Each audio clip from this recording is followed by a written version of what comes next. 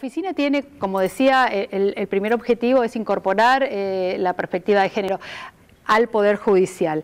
A mí me gusta decir incorporar o profundizar, porque la verdad es que si bien hablamos de, una institución, y por eso decimos incorporar, dentro de la institución, por supuesto que ya hay personas que están concientizadas, eh, eh, sensibilizadas y que trabajan acorde a las normativas internacionales, la Constitución y las leyes. Porque lo que hay que decir es que las misiones de la oficina, misiones y funciones, no son antojadizas, ni tienen que ver con este...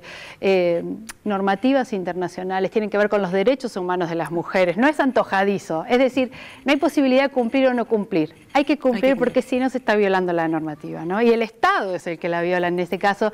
Entonces, este, me parece que eso es bien interesante. La idea de, la Oficina de Violencia de Género eh, no la podemos circunscribir exclusivamente a eh, el tema de violencia familiar, porque las mujeres eh, somos víctimas de violencia en distintos ámbitos, incluyendo el laboral, el administrativo, digo, y por supuesto el penal, ni hablar las revictimizaciones que pudieran ocurrir y que en algunos casos se dan.